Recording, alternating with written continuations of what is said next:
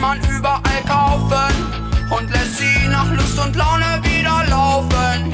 Sie bewegen sich so wie Marionetten, schwarze Fäden führen sie in fremde Betten.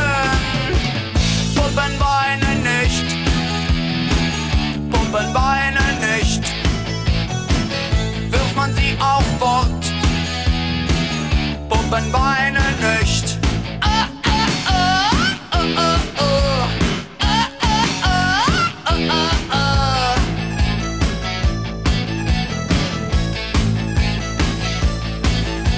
Und wenn einmal versehentlich das blasse Porzellangesicht zerbricht und du fragst sie, warum sie weint, die Antwort, die bekommst du nicht, mein Freund. Denn sie gäben niemals zu, dass sie genauso fühlt wie du. Nein, sie gäben niemals zu, sie genauso fühlt wie du.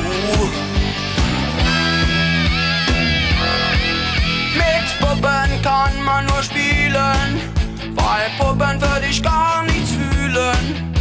Man kann sie einfach liegen lassen, wenn sie dir nach dem Spiel nicht mehr passen.